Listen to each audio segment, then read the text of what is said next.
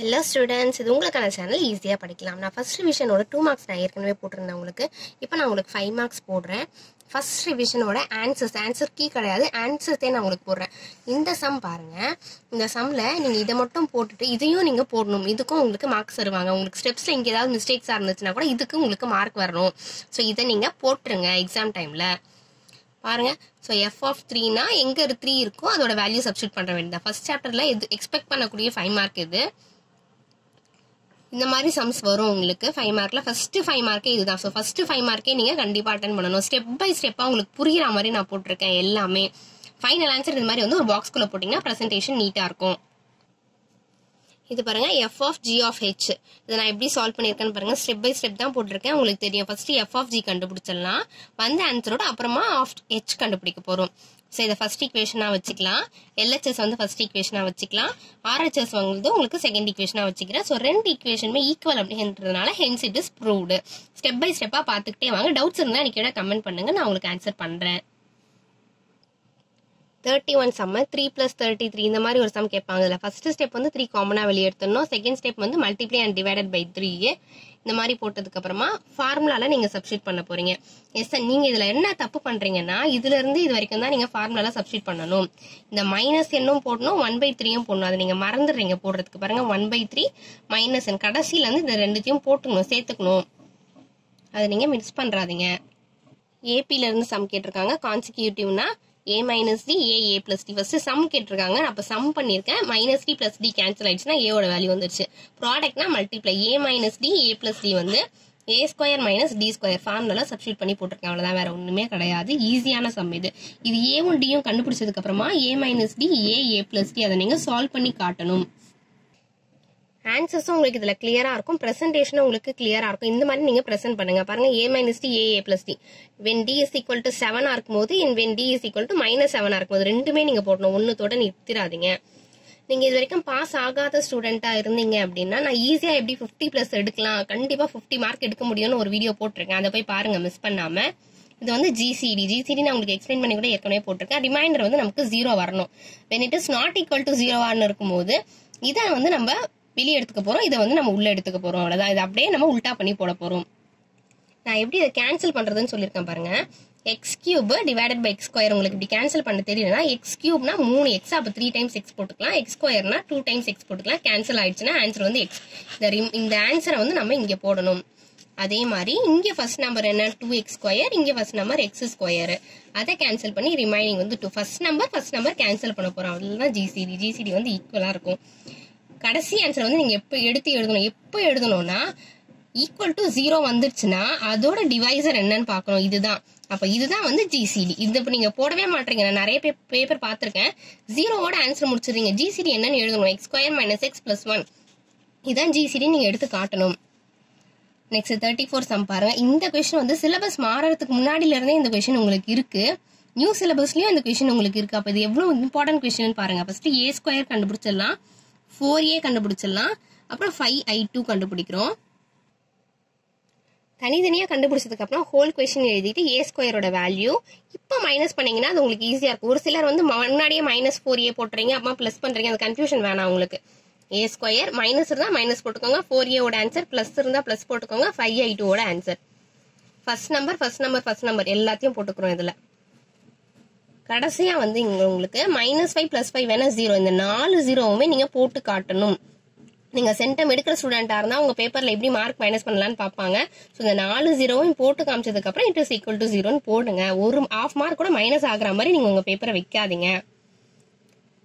Thirty fifth question நம்ம video எல்லாமே உங்களுக்கு கிளியராக இருக்கும் எக்ஸ்பிளனேஷன் நீங்கள் ஒரு முறை பார்த்தாலே தெரியும் இது எப்படி அங்கே போச்சு அது எப்படி நான் உங்களுக்கு சொல்லாமே நான் என்னோட ஸ்டெப்ஸை பார்த்தாலே உங்களுக்கு புரிஞ்சிடும் எக்ஸாம்ல இதெல்லாம் கூட நீங்கள் பாக்ஸ் போட்டு காட்டணும். டிஸ்டன்ஸோட ஃபார்முலா என்ன ஸ்பீட் இன்டூ டைம் நீங்கள் ஸ்டெப்ஸ் இல்ல ஏதாவது மிஸ்டேக் பண்ணியிருந்தா கூட இதெல்லாம் நீங்கள் ஹைலைட் பண்ணி காமிச்சீங்கன்னா உங்களுக்கு மார்க் ஜாஸ்தியாக வரும். நான் உங்களுக்கு டயக்ராம் கொடுத்துருக்கேன். ABE CDE e, e. ரெண்டு ட்ரையாங்கிள் இருக்குங்களா? இது ஒரு ட்ரையாங்கிள் இது ஒரு குட்டி ட்ரையாங்கிள் அதை வச்சு ஈக்குவல் பண்ணி போட்டிருக்கிறேன். நீங்கள் பார்த்துக்கிட்டே வாங்கல உங்களுக்கு புரியும். டவுட் இருந்துச்சுன்னா உடனே எனக்கு கமெண்ட் பண்ணுங்கள் டிவைடட்ல இருக்கிற எக்ஸ் அந்த சைட் போச்சுன்னா மல்டிப்ளை ஆகும். காமிச்சிருக்காங்கன்னா பிளஸ்ல இருக்க எக்ஸ் அந்த சைட் போச்சுன்னா மைனஸ் ஆகும். ஆரோ மார்க் எல்லாமே போட்டு தான் காமிச்சிருக்கேன். டிவைட் ஆயிடுச்சுன்னா ஆன்சர் வந்து minus one by one by six sorry one by six X equal to one by சிக்ஸோட answer நம்ம முடிச்சிடக்கூடாது என்ன ஃபைண்டுன்னு கேட்டிருக்காங்க?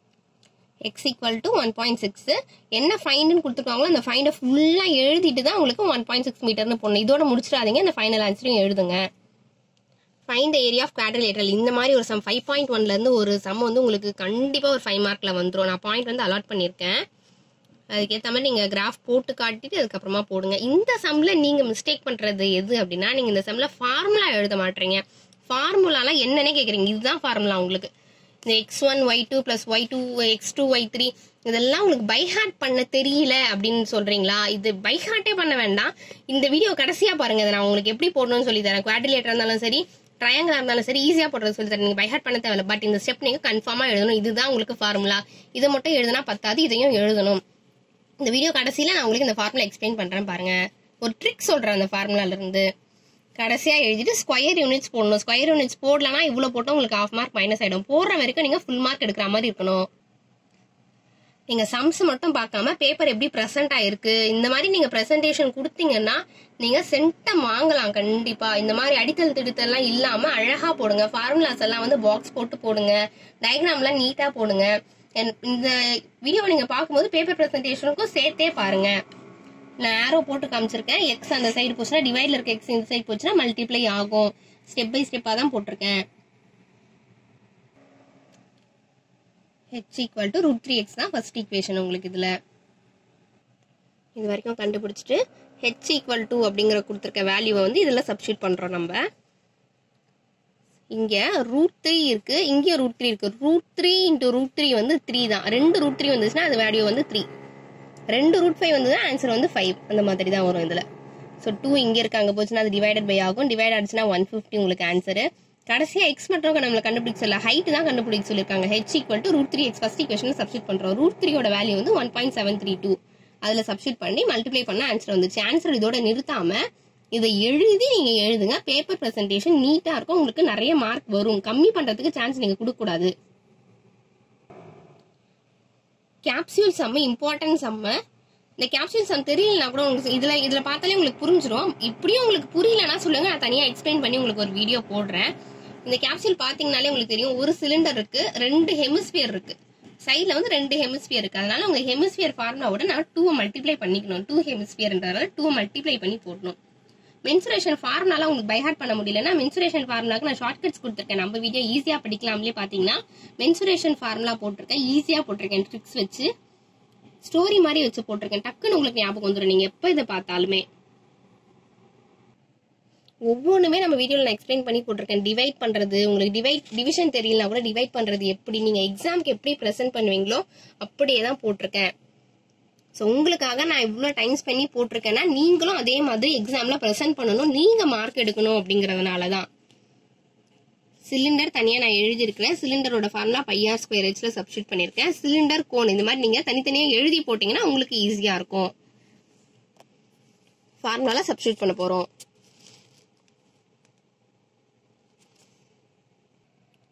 இந்த ஃபார்முலாவில் சப்ஸ்டியூட் பண்ணி கோனோட ஃபார்முலா அதில் அப்படியே சப்ஸ்டியூட் பண்ணிக்கிட்டே வந்தீங்கன்னா உங்களுக்கு ஃபைனல் ஆன்சர் வந்துட போகுது இந்த சம் புரியுதான்னு பார்த்துக்கோங்க அப்படியே. டவுட் இருந்ததுன்னா நீங்கள் தயங்காமல் கமெண்ட் பண்ணுங்க. இது ஃபார்ட்டி கொஷின் வந்து உங்களுக்கு ஸ்டாட்டிஸ்டிக்ஸ்லேருந்து கேட்டிருக்காங்க.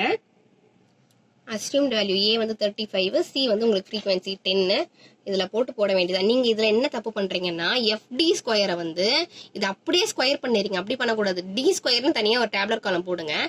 எஃப்ஐயும் டி ஸ்கொயரையும் மல்டிப்ளை பண்ணணும் இது. சரிங்களா? எஃப்ஐயும் டி ஸ்கொயரையும் மல்டிப்ளை பண்ணி தான் இங்கே உங்களுக்கு ஆன்சர் போடணும். எஃப்டி ஸ்கொயர் கிடையாது. எஃப் இன்டூ டி ஸ்கொயர் சின்ன மிஸ்டேக் நீங்கள் பண்ணுறது தான் உங்களுக்கு பெருசாக தெரியுது. சம்மில் அவ்வளோ மார்க் மைனஸ் பண்ணுறதுக்கான ரீசன் இங்கே செவன்டி ஒன்னு ஸ்கொயர் பண்ணியிருக்கோம் ஸோ அதனால் இங்கே seventy one into seventy one போட்டிருக்கேன். சேம் டினாமினேட்டர் எடுக்கிறதுக்காக. இந்த எக்ஸ்பிளனேஷன்லாம் உங்களுக்கு புரிஞ்சது ஸ்டெப் பை ஸ்டெப்பாக இருக்குது உங்களுக்கு கிளியராக அண்டர்ஸ்டாண்ட் ஆச்சுன்னா இந்த வீடியோக்கு ஒரு லைக் போட்டுருங்க மறக்காமல் உங்களுக்கு எவ்வளோ தூரம் புரியுதுன்னு தான் நான் பார்க்கறேன் ப்ராபபிலிட்டிலேருந்து இதை நான் உங்களுக்கு சொல்லணும்னு நினைக்கிறேன்.